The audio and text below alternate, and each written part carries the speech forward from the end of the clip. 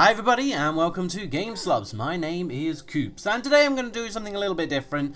Um, we normally do jumping puzzles, you know, but I did promise I'll be doing like sort of mini dungeons as well. So today I'm going to be doing Don't Touch the Shiny mini dungeon. Um, by mini dungeon I mean mini dungeon, it's tiny. Um, so I will be doing that for you today. Um, now, to get here, you need to be in Caledon Forest, and you need to start from my boner waypoint. I said Bona. Um, it's actually Mabon waypoint, but it's my boner waypoint, so yeah. Um, so you start there, and um, we will progress towards my little starry area.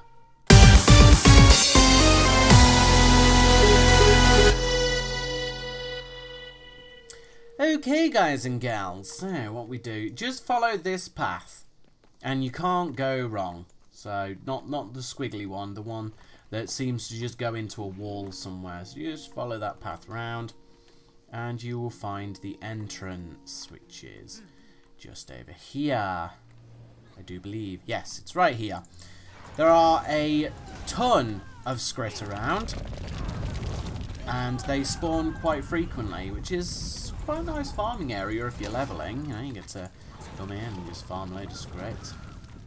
Um, but I would uh, recommend you just move on, lickety split. lickety split, don't give a skritt. uh, okay, so what you need to do is pick up this bally thing here. You pick up one of them, and then that's the doorway there. I think this guy's got it. He's got it. So you throw the ball at that. You need to get rid of all the skritt, otherwise you will target a skritt before you throw the electric orb. Then you run through here to the shiny thing and the splendid chest. So you open the chest and examine the skritt shiny and you tempt fate and break it. And then all of the golems come alive and it's oh my god! And then you just kill all the golems. Which is just a bit of a bit of trollololage fun, you know what I'm saying? So that's that's pretty much it.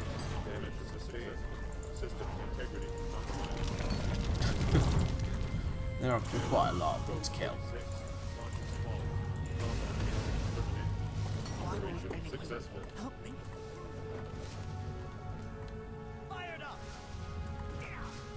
There we go. And then obviously the uh, there is lots of lightningy trappy things, so just try and avoid them.